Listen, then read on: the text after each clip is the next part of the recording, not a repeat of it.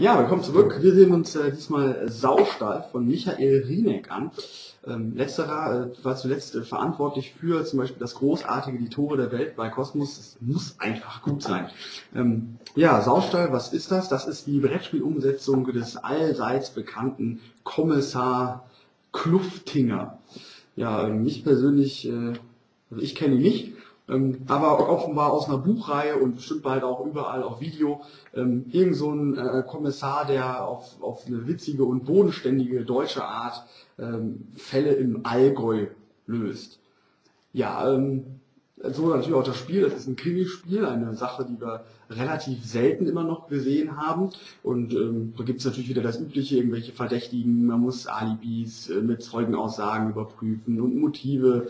Ähm, äh, kann man da verteilen und alles sowas. Also muss man gucken. Äh, am Ende möchte man natürlich äh, die meisten Punkte gemacht haben, am meisten reduziert haben hier und am Ende äh, die Mitspieler mit Genialität übertrumpfen. Äh, wir schauen mal rein, wie das Ganze läuft und ob es ein vernünftiges Spiel ist. So, ein kleiner Ausschnitt aus dem Spielmaterial. Spielidee ist grundsätzlich folgende. Wir haben hier einen äh, Personenkreis aus ganz verschiedenen Personen, die unterschieden werden erstmal im Geschlecht, also männlich-weiblich. Wir haben äh, hier die Möglichkeit, ein Motiv noch zuzuweisen und wir haben ein äh, bestimmtes Indiz, ein Beweisstück, welches mit dieser Person direkt äh, assoziiert wird. So, diese Personen werden im Spielverlauf an verschiedene Örtlichkeiten angelegt, wie zum Beispiel hier den Golfclub, äh, das äh, Schützenvereinsfest, Schützenhof, wir haben äh, ein Schwimmbad, eine Seilbahn, wie auch immer. Und am Ende des Spiels sind wirklich alle Personen hier verteilt. Jeder hat seinen gewissen Ort.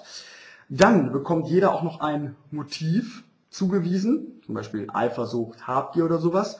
Und es werden noch Zeugenaussagen überprüft. Und zwar bei jedem Ort gibt es noch einen äh, Zeugen, der eine Aussage treffen kann. Und zwar entweder sagt der Mann oder er sagt Frau. Und je nachdem kann man dann ein Alibi überprüfen der jeweiligen Person. Das funktioniert so, wenn ich jetzt hier einen Mann dran gelegt habe oben und der Zeuge trifft die Aussage Mann, mit dem Aussage hier hingelegt, dann hätten wir ein Alibi. Das muss man sich so vorstellen, der nutzt hier, sagt das Alibi, hey, ich war doch im Schützenverein. Dann fragt man den Zeugen und der sagt, ja, da war ein Mann. Aha.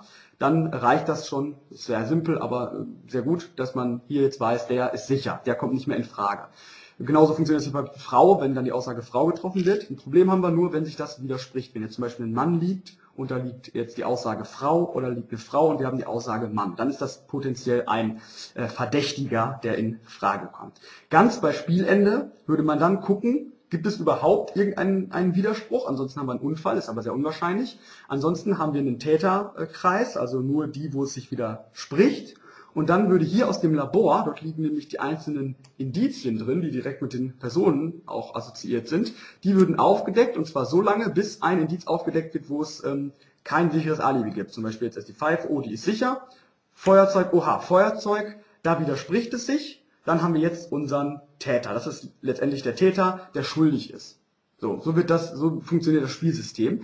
Die Spieler selbst versuchen jetzt auf dieses Spielende hinzuarbeiten. Man sieht schon, das Spiel läuft irgendwie von hinten nach vorne. Es ist von Anfang an nicht festgelegt, wer der Täter ist, was für ein Motiv der hat und an welchem Ort und so weiter, sondern das wird ja erst während des Spiels entschieden.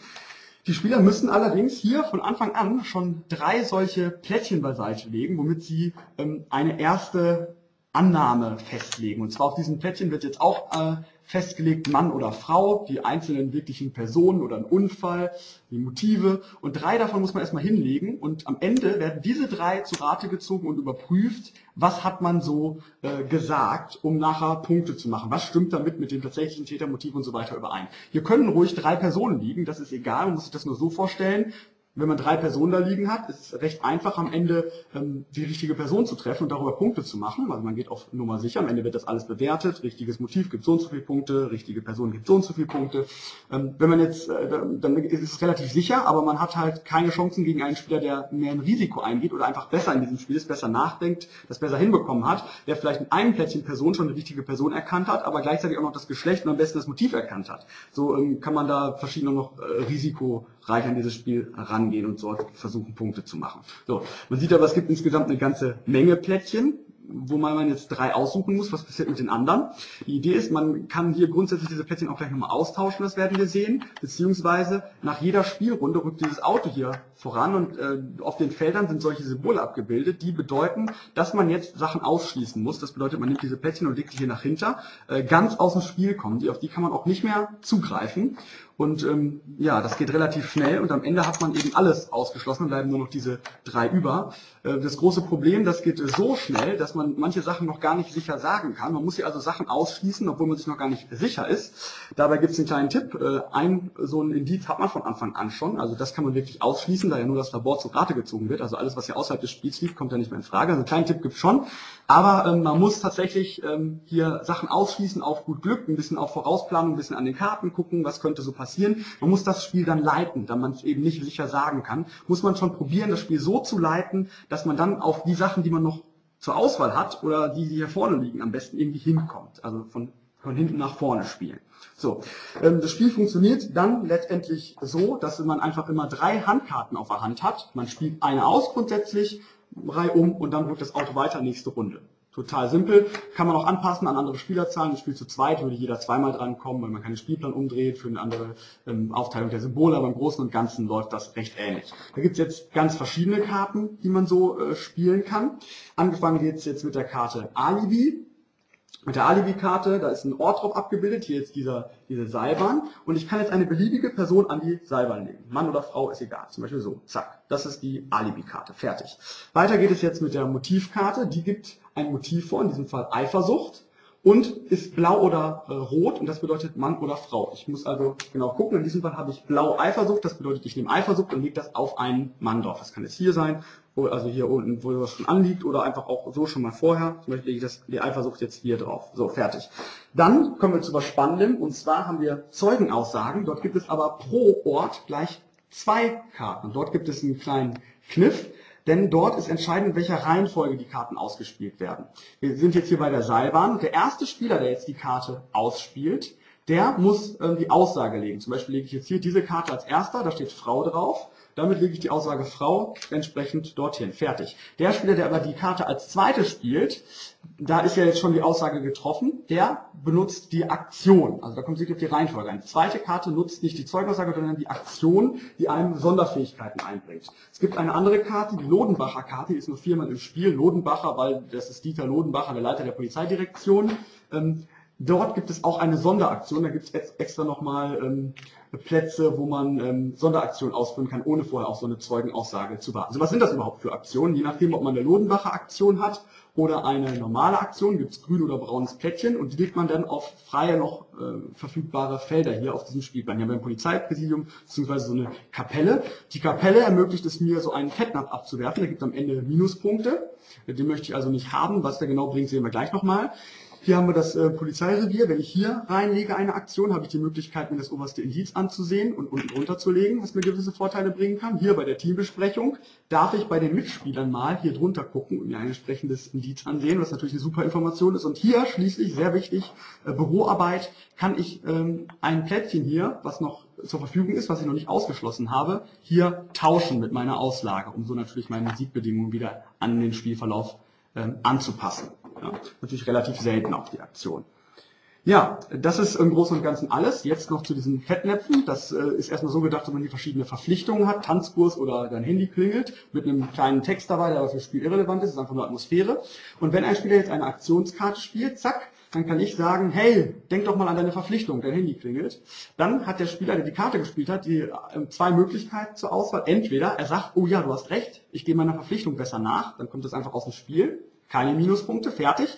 Dafür kann aber jetzt der andere Spieler übernehmen. Der sagt, naja gut, du hast eine Verpflichtung, dann übernehme ich mal schnell für dich den Fall und er kann jetzt diese Karte ausspielen, die Aktion ausführen oder auch hier die Karte anlegen, also für sich den Vorteil nutzen. Ja. Das ist natürlich dann taktisch auch, dass man seinen Siegbedingungen näher kommen kann. Oder der Spieler sagt, nee, nee, das ist mir so wichtig, ich ähm, mache das nicht, ich gehe der Verpflichtung nicht nach, dann tritt er, haha, ins Fettnäpfchen. Und darum die Fettnäpfchen. Das ist doch eine wirklich eine schöne Idee, oder? Das ist doch witzig. So, und da, damit hat er dann Fettnäpfchen, muss das probieren, wieder loszuwerden und ähm, die Minuspunkte nicht zu kassieren. Das ist alles. Also das Spiel läuft über ein paar Runden, bis man wirklich alles ausgeschlossen hat. Bis hinten ankommt, dann kann man nochmal einen Fettnapf loswerden oder nochmal tauschen. Dann wird aufgedeckt hier, welche Verdächtigen haben, haben wir überhaupt welche, wer ist es, zack. Und dann guckt man, wer hat jetzt wie viele Punkte nach einem bestimmten Raster gemacht. Und wer die meisten hat, der gewinnt. Rate mal, wer das ist. Ja, natürlich ich. Ja, also das hört sich doch, würde ich sagen, äh, ziemlich äh, vielversprechend an, oder nicht? Also ich war am Anfang äh, ziemlich, ziemlich begeistert. Wie dieser Spielmechanismus grundsätzlich funktioniert. ist eine schöne Herangehensweise, das Ganze immer von hinten zu machen, dass am Anfang eigentlich noch gar nichts feststeht. Das ist zwar unlogisch, dass man ein Mord begangen wurde und man sich das erst während des Spiels zurechtlegt, ist aber nicht schlimm. Das äh, macht das Spiel aus und das macht unwahrscheinlich viel Spaß. Also der, die, die Idee ist einfach super.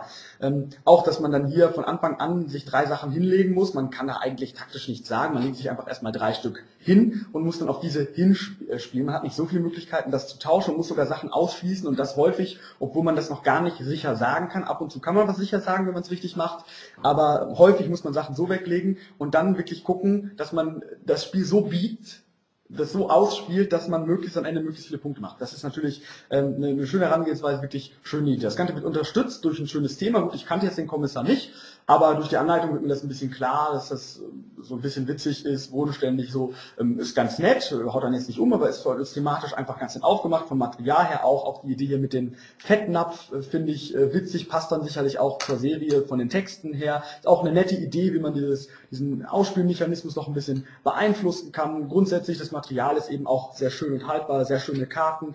Ähm, das Ganze sieht vielleicht ein bisschen, ein bisschen trist, würde ich was äh, sagen, aus, ein bisschen sehr, ähm, sehr ländlich deutsch. Also ich finde, das hätte man ein bisschen noch bunter machen können oder noch ernster, weiß ich nicht. Aber im Großen und Ganzen ist das schon echt in Ordnung. Ähm, dann äh, zum Spiel selber. Durch die Anleitung findet man sehr schnell rein. Die ist auch sehr kurz, denn das Spiel ist wirklich wahnsinnig schnell erklärt. Es gibt auch nahezu keine offenen Fragen. Eigentlich kann man sich das alles so erschließen, braucht man nicht mehr nachgucken. Das Spiel lässt sich gut an alle ähm, Spieler anpassen. Also ob man das zu zweit spielt, dann wird da eine Regel eingeführt, dass bestimmte Sachen noch neben dem Spielplan liegen, dass man auch diese Aktionen gut nutzen kann, dass die Symbole anders verteilt sind und so weiter. Also das Spiel funktioniert, würde ich sagen, wirklich zu allen Spielerzahlen, zwei bis vier Spieler, ähm, sehr gut. Also der Mechanismus funktioniert jedenfalls, so viel kann man sagen.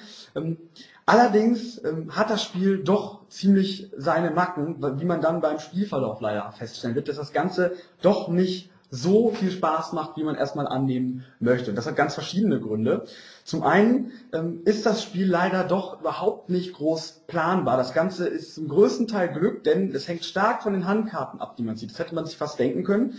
Ähm, gerade diese Aktionen erscheinen sehr, sehr stark, besonders die, wo man direkt einen Indiz sieht und eine Person gleich ausschließen kann. Das ist sehr, sehr mächtig. Auch das Tauschen ist natürlich eine wichtige Sache und das gibt es nur sehr, sehr selten. Nur bei dieser Aktion beziehungsweise am Ende einmal. Das ist viel zu selten, als dass man das wirklich taktisch hier tauschen kann. Auch eine, eine Sache, warum die Taktik hier sehr, sehr kurz kommt. Man kann sehr, sehr selten tauschen. Also was man am Anfang da hinlegt, man muss schon darauf spielen und gerade am Anfang durch die Karten passiert ja erstmal irgendwie was man kann doch nicht sagen, was sich lohnt. Eine Person wird erstmal irgendwo hingelegt, ob man dann entsprechend das, die Karte zieht, um hier jetzt genau die Zeugenaussage zu treffen, ha, das, dass ich den ausschließen kann, um meinem Ziel näher zu kommen. Das ist so unwahrscheinlich. Je mehr Spieler teilnehmen, desto unwahrscheinlicher wird das natürlich auch. Ne? Im Spiel zu zweit werden die Karten auf zwei aufgeteilt, so auf mehrere. Also ist das Spiel zu zweit taktischer als zu mehr Spielern. Das ist natürlich schon mal so.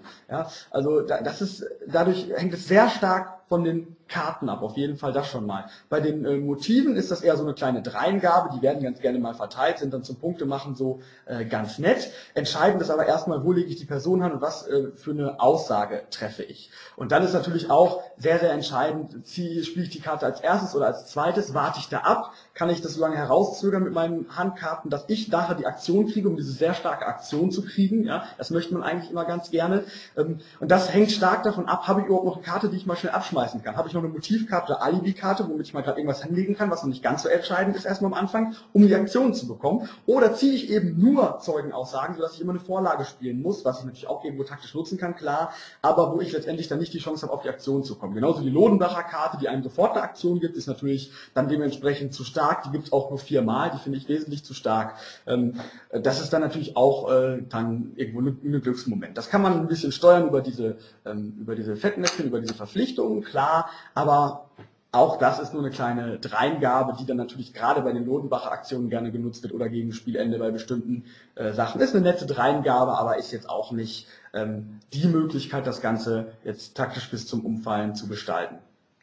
Ja, ansonsten auch am Ende das Aufdecken wird eben hier aufgedeckt, wer es jetzt ist. Das heißt, bei mehreren Verdächtigen ähm, kann man äh, nie wirklich jetzt sagen, wer ist es dann. Das ist dann einfach ein Glücksmoment, was aufgedeckt wird. Das ist äh, auch sehr blöd. Das kann man natürlich alles ein bisschen beeinflussen. Wenn man sich das hier ansieht, wird das ja nach unten gelegt. Das heißt, der kommt später dran.